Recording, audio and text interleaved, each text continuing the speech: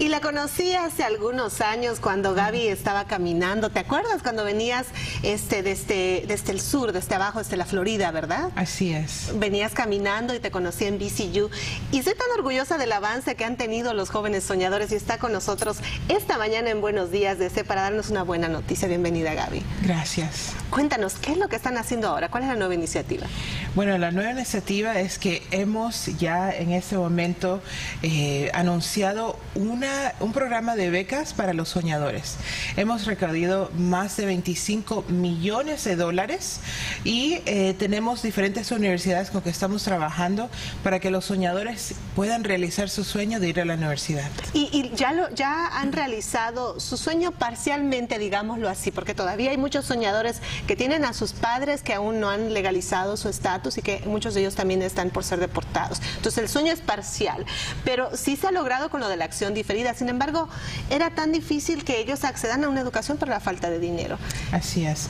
La acción diferida dio la oportunidad para que muchos de los Dreamers puedan en este momento conseguir un permiso de trabajo, pero ahora con la acción diferida también podemos conseguir que los soñadores vayan a la universidad, se gradúen y utilicen sus títulos, utilicen lo que ellos han siempre querido trabajar. Y, es a veces es como un obstáculo, lo veíamos en un reportaje del primer abogado indocumentado que hizo la juramentación el fin de semana y la verdad es un orgullo saber que nuestros soñadores están logrando estas cosas, ¿verdad? Así es, yo tengo eh, en este momento cinco amigos que son soñadores, que son abogados, tengo dos que viven aquí en Washington, D.C. y que están trabajando en diferentes organizaciones, están aquí hablando con los congresistas en el Capitolio y yo creo que lo que queremos decirle a todos los soñadores, a los padres, a las profesoras eh, que están eh, trabajando con estos soñadores es que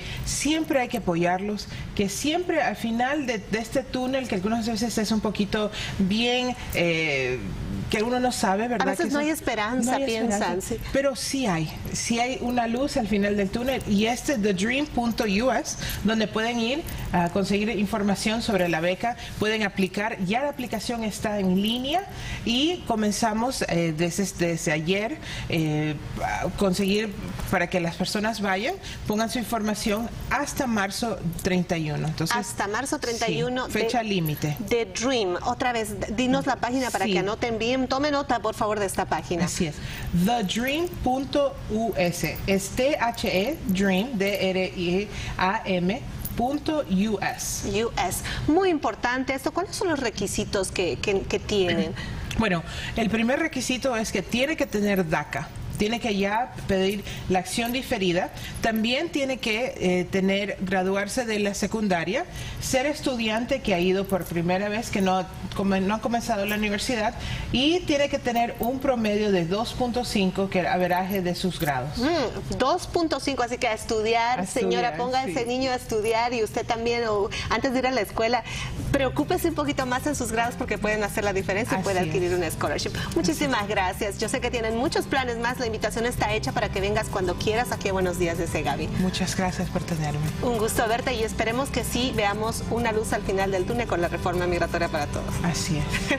Hacemos una pausa y tome nota de esta información que está en pantalla, por favor, porque es muy importante para que su hijo pueda ir a la universidad. Una pausa, volvemos con más, no se vayan.